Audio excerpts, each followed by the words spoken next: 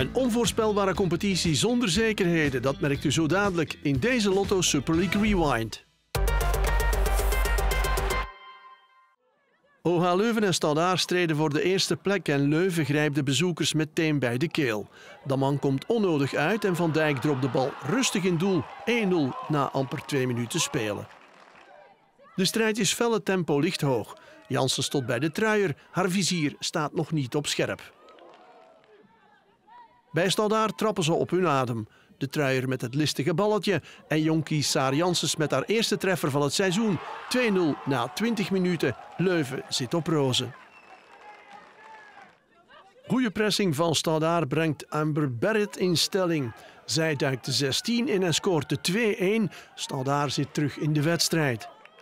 Meteen daarna vrije trap met Gelders. Perez komt, maar mist haar interceptie. Stadaar profiteert niet. OHL neemt de controle terug over, maar dan levert Kuipers zomaar in bij Barrett. De Ierse kent geen genade en knalt de 2-2 staalhard binnen. Barrett met haar vierde van het seizoen. De eerste kans van de tweede helft is voor Stadaar. Gelders onderschept, maar trapt te centraal. De thuisploeg is baas, maar geraakt moeilijk door de solide standaarddefensie. Dan maar eens vanuit de tweede lijn proberen, denkt Zomers. Dwarslat binnen en de 3-2 is een feit. Bij Standaard zeggen ze dat de bal niet over de lijn is geweest. Maar in de herhaling blijkt duidelijk van wel Leuven weer op voorsprong. Standaard antwoordt via wie anders dan Amber Barrett. Ze draait zich goed weg. Perez voorkomt de gelijkmaker. Leuven neemt de wedstrijd weer maar eens in handen. Amporter met een kopbal. De lat voorkomt een grotere voorsprong. De druk houdt aan. De truier vindt opnieuw aan maar deze keer besluit ze in de handen van Daman. En ook de laatste uitgespeelde kans is voor de thuisploeg. Caravetta met de pegel, Daman met de redding bijgestaan door de lat, blijft het toch 3-2. Leuven wint de topper na een felle partij. Stadaar heeft geknokt voor wat het waard was, maar blijft ondanks twee knappe goals van Amber Barrett achter met lege handen. I think coming from 2 0 down, I think we did well to get ourselves back into the game, but I think at times we probably lost our discipline a little bit and Leuven capitalised on us a few times. And I think, I don't think a 3 2 was a fair result, but good teams take their chances and we, we didn't take ours today. So maybe it was at the end of the day a fair result. Leuven grijpt opnieuw de koppositie. Ik denk heel goed gestart. Ook uh, wel twee, ik denk twee mooie goals. Een beetje lucky misschien dat de bal voor een keer voeten valt. Maar ja, daarna maken we denk ik twee individuele fouten. Waardoor Standaard echt terug in de wedstrijd komt. En dan wordt het echt ja, een heel bitsige wedstrijd. Ik denk dat we de tweede helft wel goed gereageerd hebben. En toen misschien minder kansen gecreëerd hebben. Maar wel ook wel terug de controle hadden. Wij blijven rustig. Wij kijken echt wedstrijd per wedstrijd. Want uh, wij zijn een heel nieuw team. En wij moeten echt ook nog wel wat bouwen. Dus wij leggen ons totaal geen druk op. In Alter namen Club Wiley en KA-agent het tegen elkaar op in de slag om Vlaanderen. De eerste doelkans is voor de thuisploeg via een hoekschop. Abramson probeert in de herneming. Het schot gaat naast. Ook Gent kan ondertussen eens via hoekschop. Hun eerste poging wordt meteen verzilverd. Amber Maximus open te scoren in de 22e minuut. Via Van Mechelen met een gouden stier op haar shirt kan Club alleen met een vrije trap nog eens dreigen. Maar doelvrouw Maas pakt de bal. Tien minuten voor rust waagt Van Mechelen na een knappe balverovering opnieuw haar kans. Maar opnieuw kan ze Maas niet verschalken. En of Riet Maas in vorm is. In amper vier minuten tijd doet ze nog drie knappe reddingen, waardoor ze de nul op het bord houdt en Gent met een kleine voorsprong kan gaan rusten. In een evenwichtige tweede helft komt Club op het uur weer dichtbij de gelijkmaker. Maar de paal staat in de weg. Gent probeert het even later met een knappe counter. Maar ook aan de overzijde wordt gemist. De bal kaatst tegen de dwarslat. Zo blijft het in de 65e minuut nog altijd 0-1.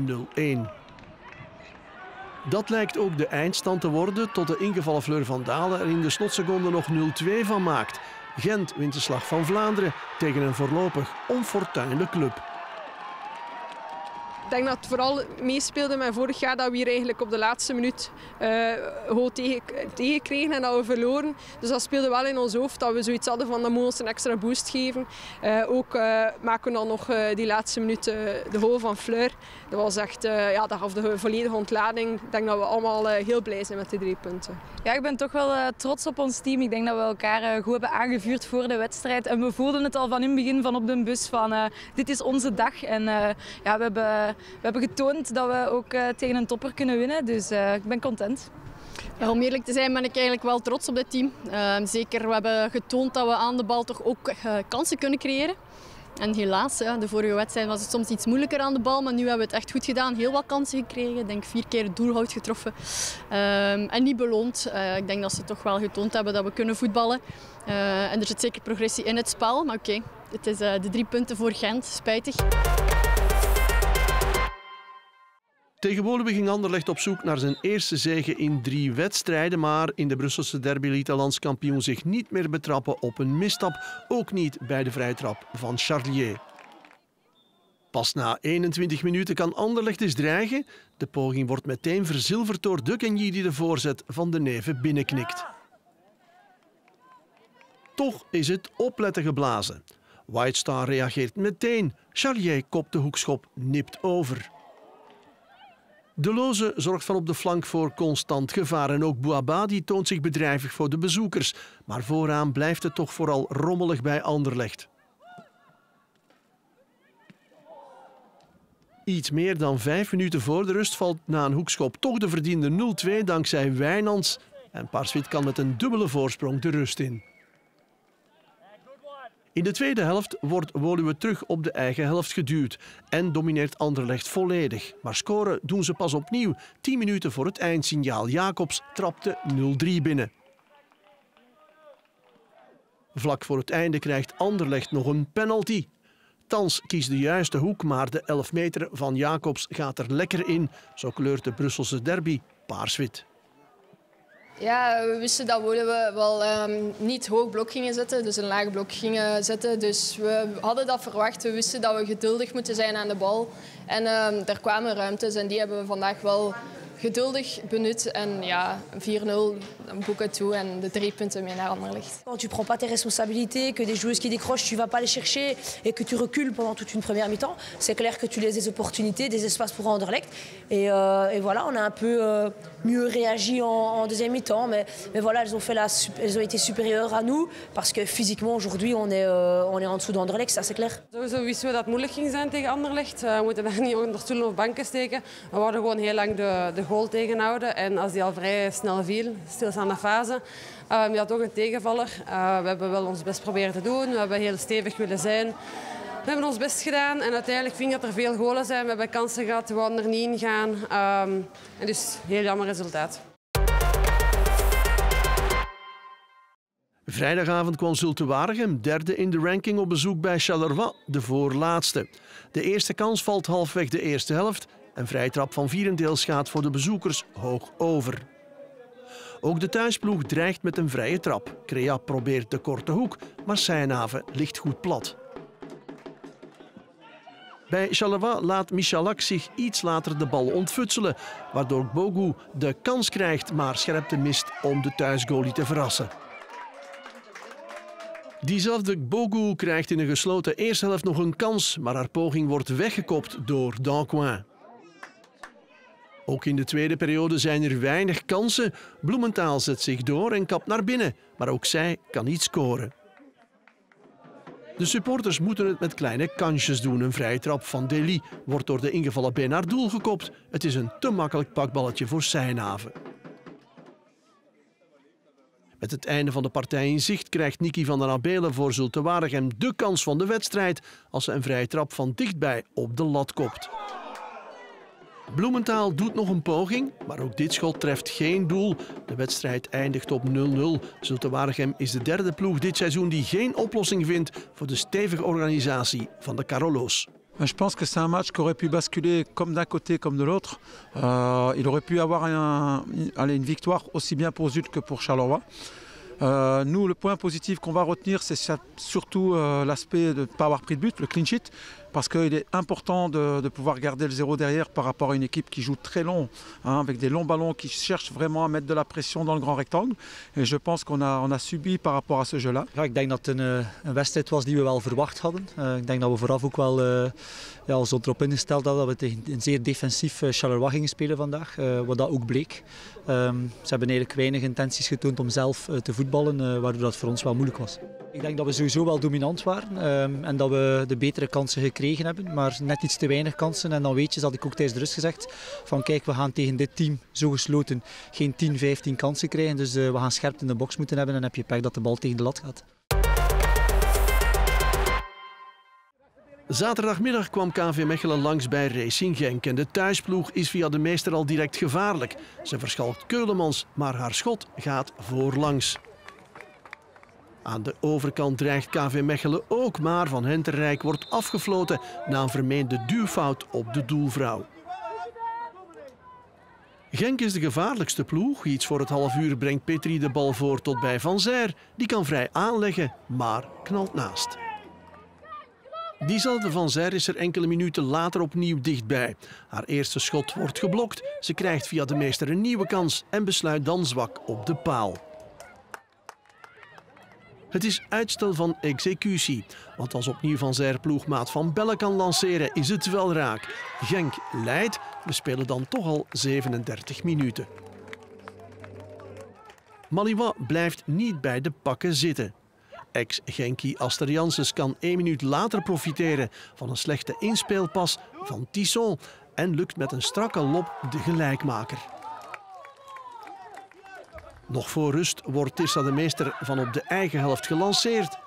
En zij werkt na een mooie rush de bal aan de overkant achter Bakarne in doel. Een knappe goal, haar eerste van het seizoen. En daar is ze heel blij mee. Sowieso. Hoe meer goals, hoe beter. Maar gewoon collectief als team en hopelijk ja, punten blijven pakken. Na de pauze domineert KV Mechelen. Halfweg de tweede helft kan Skevenels aanleggen na een corner. Haar poging gaat over. Ook Van Hentrijk is er kort bij. Maar Klaas zit goed in de korte hoek. Tien minuten voor tijd valt Charlotte Tisson slecht neer en letterlijk uit. Ze wordt met een polsbreuk afgevoerd naar het ziekenhuis. Daar is ze intussen geopereerd. Ze zal een zestal weken oud zijn. Terug naar de match, waarin de extra tijd de meester haar tweede van de middag maakt. Na een Mechelse slordigheid zet ze zich goed door en brengt de score op 3-1. Knap gedaan. De zege wordt nog ruimer als een vinnige Duisters breed voorlegt voor Van Kerkhoven, die de 4-1 eindstand vastlegt. Genk doet een goede zaak in het klassement, maar de coach wil toch een beter team op het veld zien. Om heel kort te zijn, uh, ons eigen moeilijk gemaakt. Uh, ik denk dat als we de eerste helft twee open kansen krijgen, die moet je binnen trappen. Sorry, als je die kansen mist, dan weet je dat het niet gemakkelijk wordt. Dan maken we 1-0 en dadelijk wordt het 1-1. Ja, en dan maken we 2-1 onmiddellijk. Maar als ik zie uh, aan de bal, uh, die aannames uh, hebben drie, vier tijden nodig om de bal onder controle te krijgen. De inpassing, soms veel te hard, soms veel te plat. Nee, ik, vind niet, ik ben eigenlijk niet, niet 100% tevreden. Helemaal niet. Ik ben eigenlijk een beetje teleurgesteld over het team zelf. Rode Lantaarn KV zit nu aan 0 op 18, maar heeft vooral bedenkingen bij de wedstrijdleiding. De eerste 25 minuten, een half uur, nam Genk wel wat iets meer initiatief. Heel veel beweging, deden ze wel heel goed. Maar zonder echt uitgesproken grote kansen te gaan creëren. Ja, de wedstrijd wordt opengebroken op een manier die niet moet opengebroken worden. En als dat soort factoren meespelen, ook in onze situatie, ja, dan wordt het wel heel moeilijk om resultaten te halen. Wij kunnen die wedstrijd ook gewoon op de tablet volgen. Wij kunnen direct doorscrollen en inzoomen op de fasen die dat er zijn.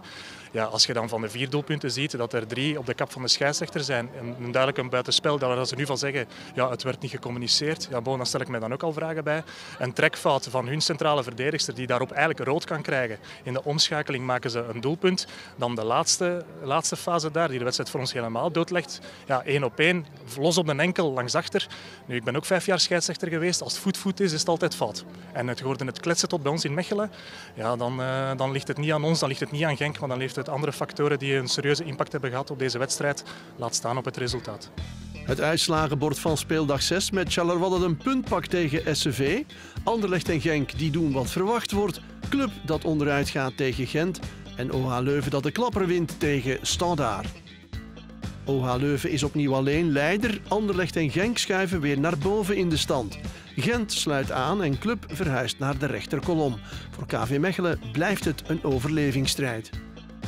Volgend weekend is er bekervoetbal, dus onze volgende afspraak is binnen twee weken en dan zijn we live op OH Leuven Charleroi. Tot dan!